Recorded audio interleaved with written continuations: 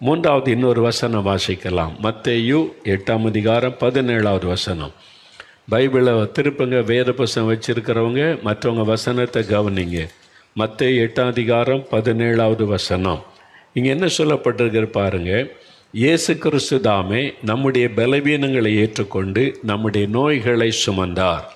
சிலுவையிலே இயேசு நம்முடைய நோய்களை சுமந்தார். நம்முடைய பலவீனங்களை ஏற்றுக்கொண்டு நோய்களை. இன்றைக்கி மனிதனுடைய அடுத்த பிரச்சனைன்னு வியாதி. பலவீனம் வியாதி. ஏதோ ஒரு வியாதி உங்களை தாக்கி இருக்குது. கேன்சர் ஆஸ்தமா நரம்பு பாதிப்பு heart problem lungs problem liver problem இது மாதிரி ஏதோ ஒரு நோய் அது உங்களுடைய சரீரத்தை தாக்கினதுனால பலவீனம். அதனால் உங்களுக்குள்ள மன சோர்வு மரண பயம் அப்படிலாம் கலங்கி கொண்டிருக்கலாம். வேதம் சொல்லுது இயேசு சிலுவையிலே நம்முடைய பலவீனங்களை ஏற்றுக்கொண்ட நோய்களை சுமந்தார் அவருடைய தழும்புகளால் குணமாகிறோம். ஒன்று பேதர் ரெண்டு இருபத்தி நாலில் இயேசுவின் தழும்புள்ள கரம். அந்த தழும்புள்ள கரத்தினால் தொட்டு நம்ம அவர் குணமாக்குகிறார். இயேசை ஐம்பத்தி மூன்று ஐந்தில் வாசிக்கிறோம் அவருடைய தழும்புகளால் குணமானோரும் அவருடைய தழும்புகளால் குணமாகிறோம். நான் வியாதிப்படுக்கையில் கடந்தபோது இயேசுடைய தழும்புள்ள கரம் தொட்டு தான் எனக்கு விடுதலை கொடுத்தது. இப்போது ரெண்டு சாட்சி வீடியோவிலே ஒரு சாட்சியை பார்த்துட்டு சுகத்துக்காக ஜெபிக்க போகிறோம் இன்றைக்கு உங்களுக்கு அற்புத சுகம். சிலுவையில் ரத்தம் சிந்தனை இயேசுவை நினைத்து அவர் ஏற்றுக்கொண்ட தழும்புகளை விசுவாசித்து ஜெபிச்சிங்கன்னா எப்பேற்பட்ட வியாதிலேருந்து உங்களுக்கு விடுதலை உண்டாகும். பாருங்கள் ஒரு சகோதரருக்கு இருபது வருஷ வியாதி. அவர் பேர் சூர்யா சென்னை. சூர்யா சென்னை. நான் பிறந்ததில் இருந்தே எனக்கு வீசிங் இருந்தார் வீசிங். இப்படி இழுத்துக்கிட்டே இருக்கும். மழைக்காலம் வந்துவிட்டால் வீசிங் அதிகமாகிவிடும். குளிர்ச்சியான உணவு எதையும் நான் சாப்பிட்டு விட்டால் எனக்கு ஒத்துக்கொள்ளாது. சிறு வயதிலிருந்தே தொடர்ச்சியாக மருந்து மாத்திரைகள் சாப்பிட்டு கொண்டு வந்தேன். தினமும் நெப்லேசர் உபயோகப்படுத்தினால்தான் இரவு என்னால் தூங்கவே முடியும். அது மாதிரி ஒரு காரியம் பயன்படுத்தினா தான் ராத்திரி தூங்க முடியும். இந்த நோய்க்கு தீர்வே இல்லாமலே கடந்த இருபது வருடமாய் மிகவும் கஷ்டப்பட்டேன். ஒரு தலைவலி ஒரு நாள் ரெண்டு நாள் வந்தாலே தாங்க முடியல. இருபது வருஷம் இந்த வியாதி வேதனை ராத்திரில் தூங்க முடியாது. என்ன கஷ்டம் பாருங்க பிறந்ததிலிருந்து. நான் படும் கஷ்டத்தை பார்த்த என் அம்மா கடந்த ரெண்டாயிரத்தி இருபத்தி ரெண்டாம் வருடம் டிசம்பர் மாதம் ஜெபிக்கலாமாங்க நிகழ்ச்சியில் கலந்து கொண்டு எனக்காக மிகுந்த பாரத்தோடு ஜெபித்தார்கள். ஜெபித்து கொண்டிருக்கும் போதே சகோதரர் அவர்கள் அதாவது நீங்கள் என் பெயரை அழைத்து சூர்யா உன்னுடைய உபத்திரவம் எல்லாம் இன்றைக்கோடு மாறுகிறது. இயேசு உனக்கு விடுதலை தருகிறார் என்று சொல்லி ஜெபித்தீர்கள். ஆச்சரியம். அன்றே என்னுடைய வீசிங் ப்ராப்ளம் மறைந்து விட்டது. அன்றைக்கு இருபது வருஷ வியாதிங்க. அவங்க தாயார் பாரம் எடுத்து ஜெபிக்கிறாங்க. அந்த பாரமுள்ள ஜெபத்தை கேட்டு அந்த மகனுக்கு சுகம். பெயர் சொல்லி அந்த விடுதலை கொடுத்தார். அன்றே என்னுடைய வீசிங் ப்ராப்ளம் மறைந்து விட்டது. இப்பொழுது நான் நல்ல சுகத்துடன் இருக்கிறேன். தொடர்ச்சியாக சாப்பிட்டு வந்த மருந்து மாத்திரைகளை எல்லாம் இப்பொழுது விட்டு விட்டேன் நெப்லேசர் பயன்படுத்தாமலேயே இரவு நன்றாக தூங்குகிறேன். விருப்பப்படும் எல்லா உணவுகளை சாப்பிடுகிறேன். பிறந்ததில் இருந்தே இருபது வருடமாக எனக்கு இருந்த வீசிங் பிரச்சனைக்கு என்னை பெயர் சொல்லி அழைத்து நிரந்தரமான ஒரு சுகத்தை கொடுத்த இயேசுவுக்கு ஸ்தோத்திரம். பார்த்தீங்களா? இருபது வாழ் எத்தனை வருஷ வியாதி உங்களுக்கு? எந்த வியாதியாக இருக்கட்டும் இன்றைக்கு உங்களுக்கு சுகம். உங்களுக்கு ஒரு அற்புதம் நடக்க போகிறார். விசுவாசிங்க. இல்லைங்க எனக்கு டயபெட்டிக்கு அது சுகமே ஆகாதுன்றாங்களே. அப்படியா? யார் சொன்னது? மருத்துவம் சொல்லுது. இயேசு சொன்னாரா?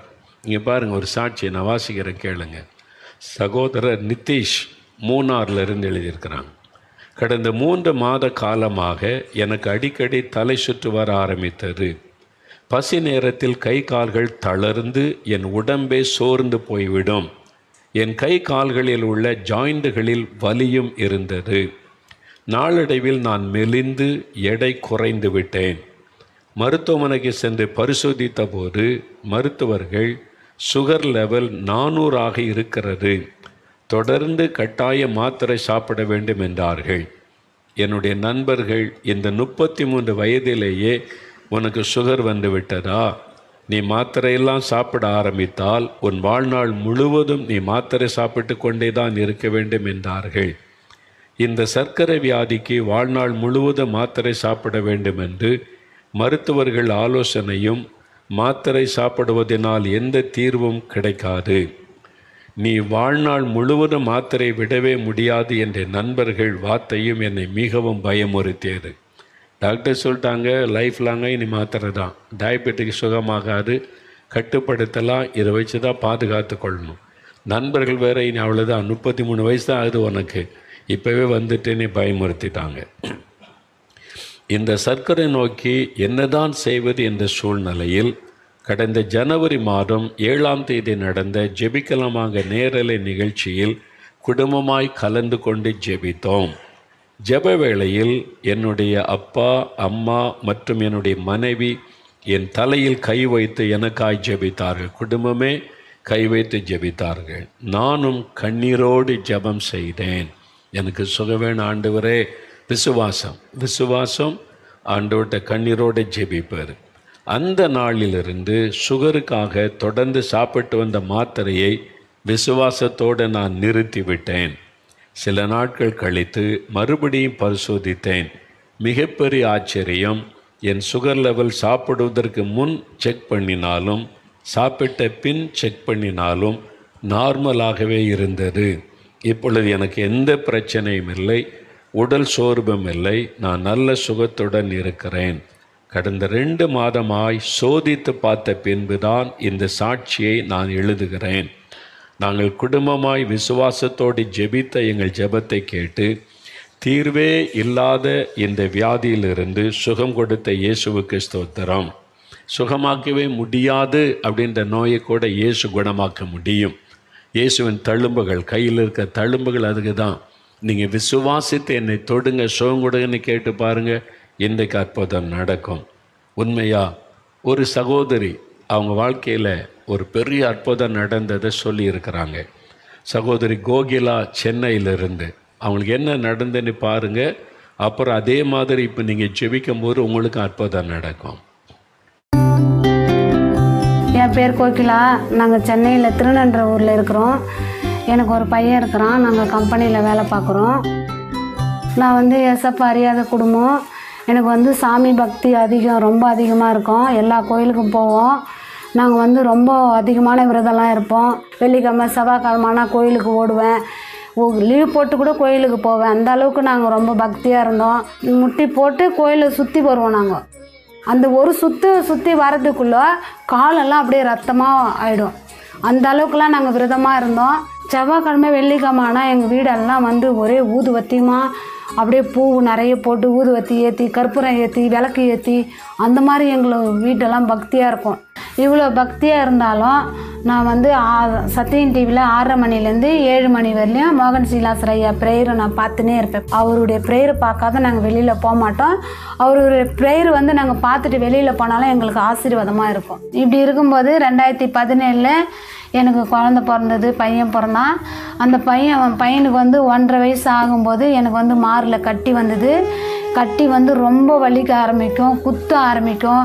ரொம்ப பால் வர குழந்தை குடிக்காதனால வந்து ரொம்ப கரண்ட்டு ஷாக் அடிக்கிற மாதிரி இழுத்துக்கினே இருக்கும் எனக்கு. எப்போ பாரு நைட்டில் தூங்க மாட்டேன். அப்படியே உட்காந்துனே இருப்பேன் நான். தூக்கமே வராது சுத்தமாக தூக்கம் வர அந்த அளவுக்கு வலி. ஃபுல்லாக இது ஃபுல்லாக அப்படியே வலிக்கும். அப்படியே இழுக்கும் அப்படியே கரண்ட்டு ஷாக் வச்ச விட்டு விட்டு இழுக்குது. அந்த மாதிரி இழுக்கும் அப்படியே. சாப்பிடலாம் முடியாது. சாப்பிடவே முடியாது என்னால். நல்லா தற்கொலை பண்ணுற அளவுக்கு நான் வேதனைப்பட்டேன் பிரதர் அவ்வளோ ஒரு வலி என்னால் தாங்க முடியாது. அந்த வலியை விட தாங்க முடியாத வலியை விட என் குழந்த வலி என்னால் தாங்க முடியல பிரதர் அந்த குழந்த அந்த பாலுக்காக ஏங்கி ஏங்கி என் முகத்தை பார்த்து பார்த்து அம்மா அம்மான்னு அழும்போது என் மனசு எப்படி நொந்து நொந்து போச்சு பிரதர் எனக்கு. ஆனால் எனக்கு வந்த நிலைமை எந்த தாய்க்கும் வரக்கூடாது. இந்த பிரச்சனைக்காக நாங்கள் ஹாஸ்பிட்டல் போய் செக் பண்ணதுக்கு இது முக்கால்வாசி கேன்சர் அப்படின்னு சொல்லிட்டாங்க. அதுக்கப்புறம் அடுத்த நாள் வந்து நாங்கள் ஹாஸ்பிட்டலுக்கு மறுபடியும் வர சொன்னாங்க. எல்லா டெஸ்ட்டும் எடுத்துகிட்டு மறுபடியும் வர சொன்னாங்க. வந்ததுக்கப்புறம் ஒரு மார்பகம் எடுத்துடணும் அப்படி சொன்னாங்க. கேன்சருன்னு சொன்ன உடனே எனக்கு என்ன பண்ணுறதுனே தெரியல. என் பிள்ளைய பார்த்து தான் நான் கட்டி பிடிச்சி அழுதேன். என் பிள்ளைய பார்த்து தான் இவ்வளோ நாள் நம்மளுக்கு குழந்தை இல்லாமல் இப்போ ஒரு குழந்தை கொடுத்து நம்மளுக்கு இப்படி ஒரு நோய் வந்துச்சு. மார்பகம் எடுத்து ஒன்று எடுத்துடணும்னு சொன்னோன்னே ரொம்ப அதிகமாக நான் கஷ்டப்பட்டேன். என்ன இப்படி இருக்கு நம்மளுக்கு? அப்படின்னு சொல்லி நாங்கள் ரொம்ப கஷ்டப்பட்டோம். எங்களுக்குன்னு யாரும் ஒருத்தரும் வந்து உதவி பண்ணல. நானே என் புருஷன் என் பிள்ளைங்க என் குழந்தை தான் எங்களுக்கு. எங்களுக்கு எல்லோரும் இருந்து கூட நாங்கள் யாரையும் தேடி போகல. நாங்கள் மூணே பேர் தான் நாங்கள் பார்த்தோம். இப்படி இருக்கும்போது தான் வந்து நாங்கள் ஒரு நாள் ஹாஸ்பிட்டல் வர சொல்லியிருந்தாங்க. அப்போ வந்து ஆறுலேருந்து ஏழு மணி வரையிலும் சத்தியம் டிவியில் மோகன் சிலாசர் ஐயா ப்ரேயர் பண்ணாங்க. அவங்க வந்து கேன்சருக்காக வந்து ரொம்ப மனதுருகி ப்ரேயர் பண்ணாங்க. எனக்காக பண்ண மாதிரி இருந்தது அந்த ப்ரேயரு அந்த ப்ரேயரை முடிச்சுட்டு நான் ஹாஸ்பிட்டலுக்கு போனேன். இயேசுவின் நாமத்தில் சுகம் உண்டாகட்டும் இயேசுவின் நாமத்தில் விடுதலை உண்டாகட்டும். இப்பொழுதும் உடைய சுகமளிக்கிற வல்லமை அவர்களுக்குள்ளே இறங்கட்டும். அந்த பலவீனத்தின் கட்டுகள் அறுக்கப்படட்டும். கேன்சர் வியாதிகள் இயேசுவின் நாமத்தில் மறைந்து போகட்டும். அந்த கட்டிகள் இயேசுவின் நாமத்தில் கரைந்து மறைந்து போவதாக ஒரு அற்புதமான விடுதலை வரட்டும். முதல் பேராக வந்து என்னை கூப்பிட்டு உங்களுக்கு கேன்சரே இல்லைன்னு சொன்னாங்க. கேன்சரே இல்லைன்னு சொல்லிட்டு மார்பகத்தை எனக்கு எடுக்கல. வேண்டாம் நல்லா இருக்குது உனக்கு கேன்சருக்கு உண்டான அறிகுறியே இல்லை உனக்கு. இதுக்கப்புறம் நீங்கள் ஆறு மாதத்துக்கு ஒரு முறை வந்து செக்கப் பண்ணிக்கோங்க போதும் அப்படின்னு சொன்னாங்க எனக்கு ஹாஸ்பிட்டலு ரெண்டாயிரத்தி பத்தொம்போதுலேருந்து இருபத்தி ரெண்டு வரலையும் வந்து ரெண்டாயிரத்தி இருபத்தி ரெண்டு வரலையும் வந்து நாங்கள் நிறைய செக்கப் எடுத்திருக்கோம். நிறைய ஸ்கேன் பண்ணியிருக்கோம். எத்தனையோ டாக்டர் பார்த்துருக்கோம். பெரிய டாக்டர் பாருங்கள் அந்த டாக்டர் பாருங்கள் இந்த டாக்டர் பாருங்கள்லாம் சொன்னாங்க. எல்லா டாக்டரையும் நான் பார்த்துருக்கேன். ஆனால் எல்லா டாக்டருமே வந்து உங்களுக்கு நார்மல் தான். கேன்சருக்கு உண்டான அறிகுறியே இல்லை அப்படின்னு சொல்லிட்டாங்க. எந்த மாத்திரை மருந்தும் நான் எடுக்கலை. இப்போ என் உடம்புல நான் எந்த பிரச்சனையும் இல்லை. நான் நல்லா இருக்கிறேன் நல்லா சாப்பிட்றேன் நல்லா வேலைக்கு போகிறேன் நல்லா தூங்குறேன். எந்த பிரச்சனையும் எனக்கு இல்லை. நான் ரொம்ப ரொம்ப நல்லா இருக்கிறேன். ஏசப்பா வந்து எங்களுக்கு சுகம் கொடுத்தனால ஏசப்பாவுக்கு பிடிக்காத பொருள் எல்லாம் நாங்கள் தூக்கி வெளியே போட்டோம். நாங்கள் ஏசப்பாவை முழுசாக ஏற்றுக்கணும் இப்போ வாரம் வாரம் நாங்கள் சர்ச்சுக்கு போகிறோம் இங்கே உள்ளவங்களுக்காகவும் நான் ப்ரேயர் பண்ணுவேன். எங்கள் தெருவில் உள்ளவங்களுக்காகவும் ப்ரேயர் பண்ணுவேன். தேசத்துக்காகவும் ப்ரேயர் பண்ணுவேன். எல்லாருக்காகவும் நாங்கள் ப்ரேயர் பண்ணுவோம். ஏசப்பா எனக்கு கேன்சர்லேருந்து சுகம் கொடுத்த ஏசப்பாவுக்கு கோடி கோடி நன்றி கோடி கோடி சோத்துரும். பாருங்கள் இயேசு கிறிஸ்து அற்புதமாக சுகம் கொடுத்து அவருடைய கண்ணீரை துடைத்தார். இன்றைக்கு நீங்கள் ஏதோ ஒரு வியாதி உங்களுடைய மனதை பாதிச்சிருக்குது. இனி அவ்வளோதான்ற சூழ்நிலையில் இருக்கலாம். எந்த வியாதியாக இருக்கட்டும் உங்களுடைய சரீரம் தேவனுடைய ஆலைன்னு சொல்லப்பட்டிருக்கிறாரு நம்முடைய சரீரத்தை நல்ல சுகமாக்குவதற்கு இயேசு தன் சரீரத்தை சிலுவையிலே அடிக்கப்பட நொறுக்கப்பட ஒப்பு கொடுத்தார் அவருடைய கைகளிலே தழும்புகளை ஏற்றுக்கொண்டார். இப்போ நீங்கள் விசுவாசிக்கிறீங்களா? உங்களுடைய கேன்சர் வியாதி மறையும். இப்போ நீங்கள் விசுவாசிக்கிறீங்களா? டயபெட்டிக் மறைஞ்சு எல்லாம் நார்மலாக மாறும்.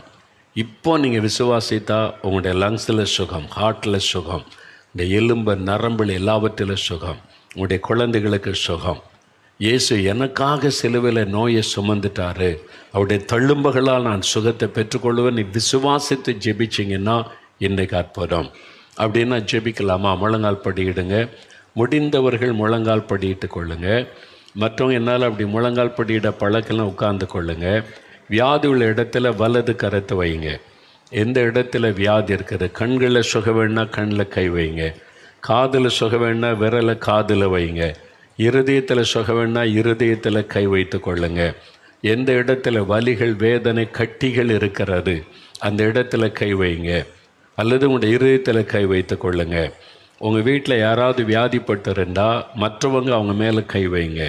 உங்களுடைய கணவருக்காக பெற்றோருக்காக பிள்ளைகளுக்காக ஜெபிக்கணும் குழந்தைகள் வியாதிப்பட்ட குழந்தைகள் மேலே தாயார் கை வைங்க. இயேசுவின் நாமத்தில் சுகம் உண்டாகட்டும்.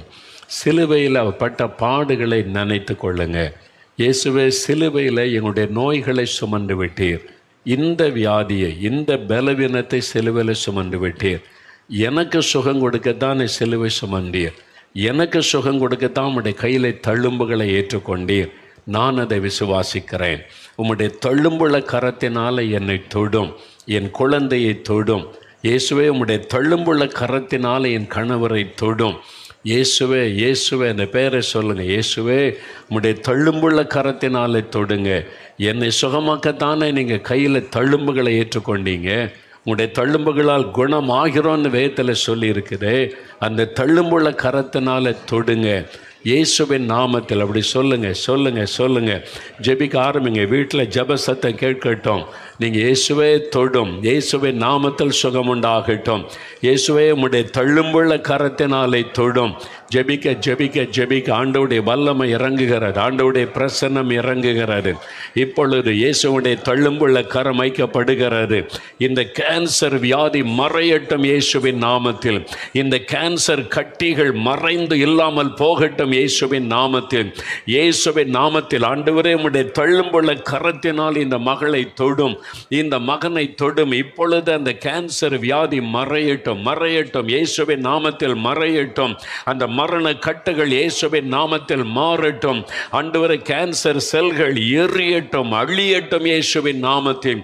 இயேசுவின் நாமத்தில் அவைகள் அழிக்கப்பட்டு போகட்டும். இப்பொழுது சரீரத்தில் உம்முடைய சுகமளிக்கிற வல்லமை இறங்கட்டும். தள்ளும்புள்ள கரம் வைக்கப்படுவதாகும் இந்த பொல்லாத நோயை கொண்டு வருகிற கிருமிகள் அழியட்டும் இயேசுவின் நாமத்தில். ஆஸ்தமா வியாதி வெள்ளகட்டும் இயேசுவின் நாமத்தில். ஆத்திரைட்டிஸ் வியாதி இயேசுவின் நாமத்தில் வெள்ளகட்டும். உம்முடைய தள்ளும்புகளால் சுகம் உண்டாகட்டும் உம்முடைய தள்ளும்புள்ள கரத்தை குழந்தை மேலே வையுங்க ஆண்டவரே அந்த குழந்தையை சுகமாக்குங்க. குழந்தையினுடைய இருதயத்தை குணமாக்குங்க.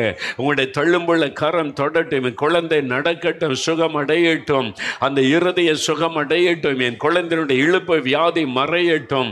அந்த ஃபிட்ஸ் வியாதி விலகட்டும் இயேசுவின் நாமத்தின் உம்முடைய தள்ளும்புள்ள கரத்தினால் என் குழந்தையை தொடுங்காண்டுவரே. அப்படி செபிக்கிற பிள்ளைகளுக்கு இரக்கம் செய்வீராக.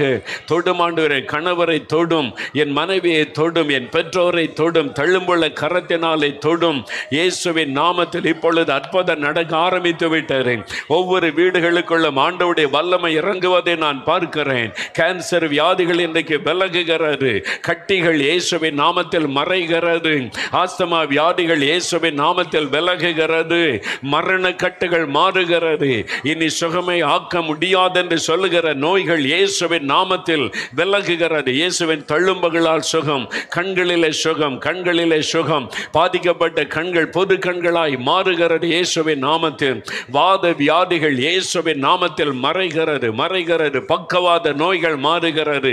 ஒரு கை ஒரு கால் பாதிக்கப்பட்ட சகோதரனை எழும்பின் நடங்க இயேசுவின் நாமத்தில். சகோதரி எழும்பின் நடங்க. இயேசுவின் தள்ளும்புகளால் குணமாகிட்டீங்க அவருடைய கரம் உங்களை தொடுகிறது. எழும்பு மகளை என்று ஆண்டவர் சொல்லுகிறார். நடங்கை இப்பொழுது இயேசுவின் தள்ளும்புகளால் குணமாகிறீங்க. கட்டுகள் அறுக்கப்பட்டு கொண்டு இருக்கிறது மரண வியாதிகள் விலகி கொண்டு இருக்கிறது இப்பொழுது இயேசுவின் நாமத்தில் விடுதலை இயேசுவின் நாமத்தில் சுகம் இயேசுவின் தள்ளும்புகளால் குணமாகிறோம். சொல்லுங்க இயேசுவின் தழும்புகளால் நான் குணமாகிறேன். இயேசுவின் தழும்புகளால் என் குழந்தைக்கு சுகம் உண்டாகட்டும் இயேசுவே உம்முடைய தள்ளும்புகளால் சுகம் உண்டாகட்டும். அப்படி சொல்லுங்க சொல்லுங்க வாய் திறந்து சொல்லுங்க. இயேசுவே உம்முடைய தள்ளும்புகளால் சுகம் உண்டாகட்டும். இயேசுவின் தள்ளும்புகளால் அற்புத சுகம் உண்டாகட்டும். நீங்கள் சொல்ல சொல்ல விடுதலை சுகம். அநேக குழந்தைகளை இயேசு தொடுகிறார். தாய்மார்கள் கண்ணீரோடு ஜெபிக்கிறீங்க. குழந்தைகளுடைய இருதயத்தை தொட்டு குணமாக்குகிறார். குழந்தைகளுடைய ஃபிட்ஸ் நோய்கள் வலிப்ப நோய்கள் மறைகிறது இயேசுவின் நாமத்தின் கால்கள் பலன் கொள்ளுகிறது. கை வளைந்திருக்கிற கைக்காக ஒரு தாயார் குழந்தை குழந்தைக்காக ஜெபிக்கிறீங்க. இயேசுவின் நாமத்தில் இந்த கைகள் நார்மலாய் மாறட்டும். அந்த கையில் இருக்கிற வளைவுகள் நீங்கி சுகம் உண்டாகட்டும். இப்பொழுது சுகம் நடக்க முடியாத குழந்தைகள் நடக்கட்டும் இயேசுவின் நாமத்தில். ஆண்டவுடைய தழும்புள்ள கரம் தொடுவதாக சுகம் உண்டாகட்டும். தலை முதல் கால் வரை சுகமளிக்கிற வல்லமை இறங்குகிறது. காதுகளிலே சுகம் உண்டாகட்டும் இப்பொழுது. செவிட்டு காதுகள் திறக்கப்படட்டும் இயேசுவின் நாமத்தில். குருட்டு கண்கள் திறக்கப்படட்டும் இயேசுவின் இயேசுவின் நாமத்தில் இப்பொழுது பொல்லாத நோய்கள் மறையட்டும். அற்புத சுகம் குடலிலே சுகம் உண்டாகட்டும் கிட்னியிலே சுகம் உண்டாகட்டும். இயேசுவின் நாமத்தில் அற்புதம் நடக்க ஆரம்பித்து விட்டது. நன்றி. ஆண்டவரே நீர் கொடுக்கிற விடுதலைக்காக நன்றி சுகத்திற்காக நன்றி. நன்றி ஆண்டவரே நன்றி. வாய் திறந்து இயேசுவே என்னை தொடுகிறதற்காய் ஸ்தோத்திரம்னு சொல்லுங்க. எனக்கு விடுதலை தருகிறதற்காய் ஸ்தோத்திரம். வாய் திறந்து அவரை துடிக்க துடிக்க ஆண்டவுடைய வல்லமை தொடுகிறது. சோஃபி த சிங் சோ சோபீத சிங் ஆண்டவுடைய கரம் உங்களை தொட்டு குணமாக்குகிறது. உங்களுடைய நரம்புகள் எலும்புகள் இருக்கிற பிரச்சனை மாறி சுகம் உண்டாகிறது. சோபித சிங் இயேசுவுக்கு ஸ்தோத்திரன் ஆண்டவரை மகிமைப்படுத்துங்கள் இப்பொழுது. இயேசுவின் தழும்புகளால் குணமாக்கப்படுகிறீர்கள். இயேசுவை நன்றின்னு சொல்லுங்க. சுந்தர் சிங் ஆண்டவுடைய கரம் உங்களை தொடுகிறது. சுந்தர் சிங் இயேசுடைய வல்லமை உங்களுக்குள்ளே பாய்ந்து வருகிறது. குடல் பகுதியில் இருக்கிற பிரச்சனை அந்த குடல் புண்கள் இயேசுவின் நாமத்தில் மறைகிறது. இயேசுவுக்கு நன்றின்னு சொல்லி ஆண்டவரை துதியுங்கள் இப்பொழுது. விஜிலா விஜிலா என்கிற மகளை ஆண்டவர் தொடுகிறார். சரும நோய் மாறுகிறது. அந்த சருமத்தில் தோலில் உண்டான அந்த ஊரல் வியாதி மறைகிறது. இயேசுவின் தழும்புகளால் குணமாக்கப்படுகிறீர்கள். இயேசுவுக்கு ஸ்தோத்திரம் என்ற ஆண்டவரை மகிமைப்படுத்துங்கள். ஆண்டவருடைய தழும்புள்ள கரம் அநேகரை தொட்டு விடுதலை செய்து கொண்டு இருக்கிறது இயேசுவுக்கு நன்றின்னு சொல்லுங்க. குழந்தைகளை ஆண்டவர் தொட்டு குணமாக்குகிறார். தீர்க்க முடியாதென்று நினைக்கிற நோய்கள் மறைகிறது இயேசுவின் நாமத்தில். அவருடைய தள்ளும்புகளால் குணமாக்கப்படுகிறீர்கள். இயேசுவின் தள்ளும்புகள் தொடுகிறதற்காய் ஸ்தோத்திரம். இயேசுவின் தள்ளும்புகள் தொடுகிறதற்காய் ஸ்தோத்திரம். வாய் திறந்து சொல்லுங்க உம்மை துடிக்கிறேன் உம்மை ஸ்தோத்தரிக்கிறேன். உமக்கு நன்றி செலுத்துகிறேன். ஆண்டுவரேன்னு சொல்லுங்க. ஆண்டுவரேன்னு சொல்லுங்க. தேங்க்யூ ஜீசஸ் உமக்கு நன்றி உமக்கு நன்றி உமக்கு நன்றி. நீ தொடுகிறீர் விடுதலை தருகிறீர். அதற்காக உமக்கு நன்றி. ரவிக்குமார் ஆண்டவுடைய கரம் உங்களை தொடுகிறது ரவிக்குமார். இயேசுவை நாமத்தில் விடுதலை அடைகிறீங்க. மரண கட்டுகள் மாறுகிறது. பயப்படாதங்க. இன்றிலிருந்து உங்களுக்கு சுகம். மரண பயம் உள்ளத்தை விட்டு விலகுகிறது. இயேசுடைய ஜெபத்தை கேட்டார். ஆண்டவருக்கு நன்றி சொல்லுங்க. சிவகுமார் ஆண்டவுடைய கரம் உங்களை தொடுகிறது. சிவகுமார் உங்களுடைய ஜெபம் கேட்கப்பட்டது. ஆண்டவுடைய வல்லம் உங்களுடைய சரீரத்தில் பாய்ந்து வருகிறது. உங்களுடைய சரீரத்தில் காணப்படுகிற இந்த பொல்லாத நோய் இன்றைக்கு மறைகிறது. வினோதமான இந்த வியாதி மாறுகிறது. விடுதலைக்காக இயேசுவுக்கு ஸ்தோத்திரம்னு சொல்லுங்க. ரஞ்சனி ரஞ்சனி என்கிற ஒரு மகளை ஆண்டவர் தொட்டு குணமாக்குகிறார். ஆண்டவுடைய தொழும்புள்ள கரம் உன்னை ஒரு மகளே ரஞ்சனி. ஆண்டவுடைய வல்லமை உனக்குள் இறங்கி வருகிறது. உன்னுடைய நோய் அது ஆண்டவருக்கு மாத்திரம் தெரியும். நீ ஆண்டவருக்கு மாத்திரம் தெரியப்படுத்தினாய். ஆகவே அவர் உன்னை குணமாக்கி விட்டார் விசுவாசத்தோடு ஆண்டவரை ஸ்தோத்திரம் பண்ணு. இயேசுவை நாமத்தில் விடுதலை. இயேசுவுக்கு நன்றி. ஆண்டவருக்கு நன்றி. தகப்பனே உம்முடைய தள்ளும்புகளால் குணமாக்கினீர். அப்படியே வலதுகரம் வைத்த இயேசுவே உம்முடைய தள்ளும்புகளால் என்னை குணமாக்கினதற்காய் ஸ்தோத்திரம். சொல்லுங்க வாய் இயேசுவே உம்முடைய தள்ளும்புகளால் நான் குணமானேன். உம்முடைய தள்ளும்புகளால் குணமாக்கி விட்டீர் என் குழந்தைக்கு சுகம் தந்து விட்டீர் ஸ்தோத்திரம். உம்முடைய தள்ளும்புகளால் சுகம் கொடுத்த தேவனுக்கு ஸ்தோத்திரம் ஸ்தோத்திரம் ஸ்தோத்திரம். இயேசு கிறிஸ்துவின் நாமத்தில் ஜெபிக்கிறோம். ஆமேன் ஆமேன்.